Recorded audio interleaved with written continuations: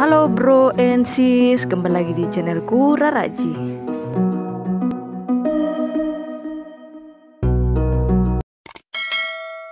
Kalau kalian suka dengan channelku, tekan tombol subscribe ya guys. Oke guys, di videoku kali ini aku akan membahas cara cepat turun ke lantai 120 tambang di Stardew Valley. Oke, langsung aja kita simak. Oh iya, jangan lupa ditonton sampai habis ya guys. Untuk mencapai lantai 120 di tambang, pasti pemain harus menghancurkan bebatuan yang ada untuk mencari tangga turun. Nah, seperti itu. Tapi untuk menghancurkan bebatuan ini pasti sangat menguras tenaga dan juga kesehatan pemain. Nah, di sini saya mau bagikan tips cara membuat tangga agar cepat turun di lantai atau level 120 di tambang Stardew Valley.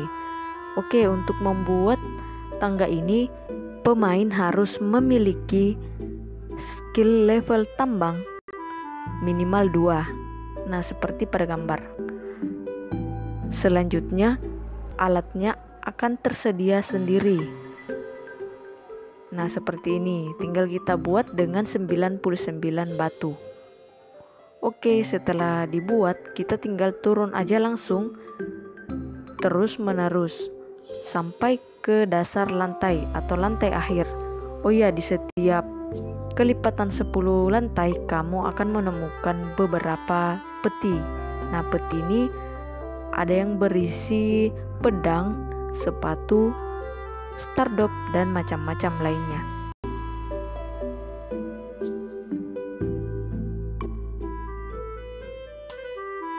Nah, sekarang kita udah sampai di tambang 120. Nah, ada peti. Peti ini isinya kunci, kunci skull key. Kunci ini fungsinya untuk membuka gua tengkorak yang ada di padang pasir atau Calico Desert di Stardew Valley. Oke guys, mungkin itu saja yang bisa aku bagikan di videoku kali ini. Tetap ikuti channelku untuk mendapatkan info-info menarik tentang game Stardew Valley. Thank you.